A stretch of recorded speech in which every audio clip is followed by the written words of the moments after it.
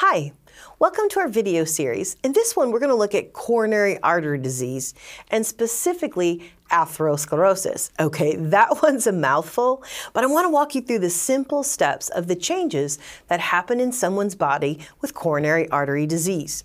So we always start with a definition. It's a great kind of solid foundation point to start on.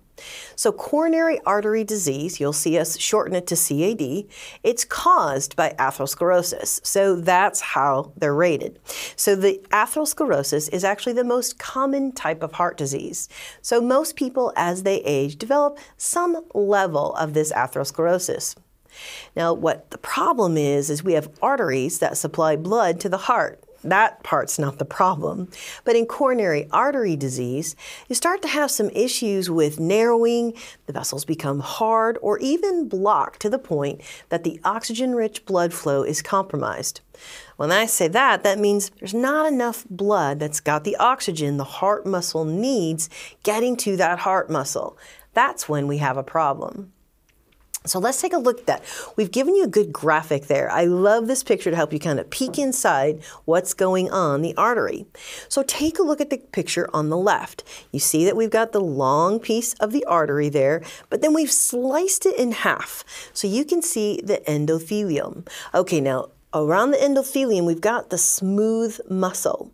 Look at it in both pictures. See that? It's right in the walls of the vessels. So here we've got a long section, there we've got a slice, like a little carrot-sized slice of your vessel. So see where there's smooth muscle right in the wall. Well, and hardening and narrowing of these arteries is what causes the problem for your patient. Now you have this hardening, the narrowing, because you've got a buildup of plaque. Now, plaque is that kind of yellowy stuff that you see there. So in the very early part of that long piece, you see it looks really clear, but as you move down toward the end closest to us, you see that we've got lipids and calcium and all kinds of cellular debris there. That's what gets really hard and stiff eventually. You can tell how it narrows the space that the blood has to flow through. Look at the drawing on the right. Look, that atherosclerosis has almost cut that vessel's capacity in half. And that's one of the reasons why atherosclerosis can be so difficult for a patient's body to adjust to. So, how do we end up in this state? What happens? Well, I want to walk you through step by step what happens over a relatively long period of time, but we're just going to speed it up. Now look at the heart there. You see that we've got kind of that black area. That's to remind you that that's an area of, where an occlusion happened, where it's been completely blocked off and the surrounding muscle tissue is damaged. The reason it's damaged is because it blocked off the heart supply to the muscle. So start at the top in our vessels. You have a normal artery, then it has kind of an early injury, start to have the atherosclerosis build up, and the bottom one is a complete blockage. That's what leads to that damaged or infarcted tissue.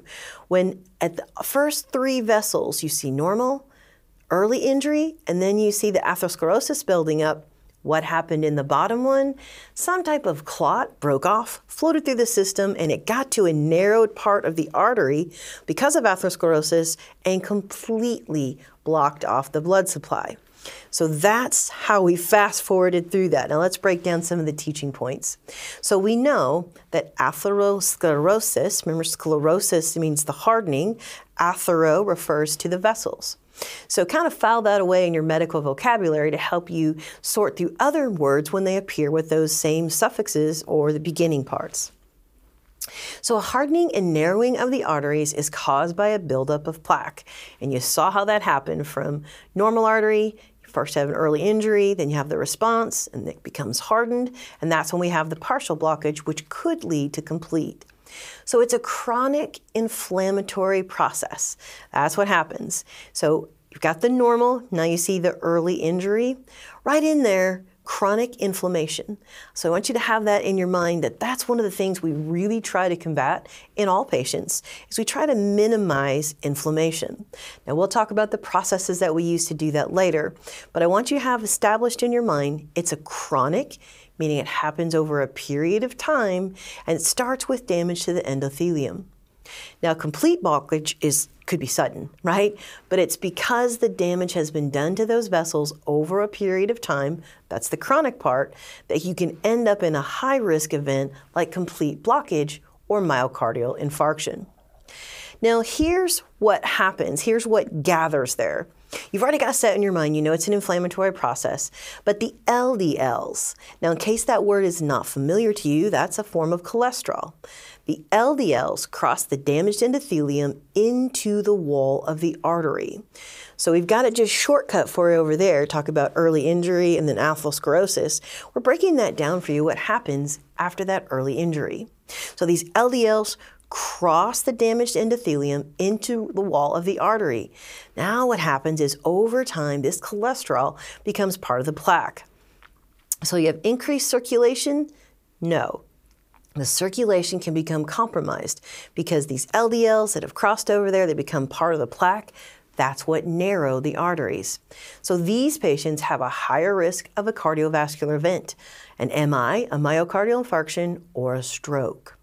Now, we've been very careful to lay these concepts down because you need to understand these concepts when your patient starts showing you symptoms. Knowledge of understanding how atherosclerosis happens will help you when you're diagnosing how severe the type of pain and symptoms your patient's experiencing.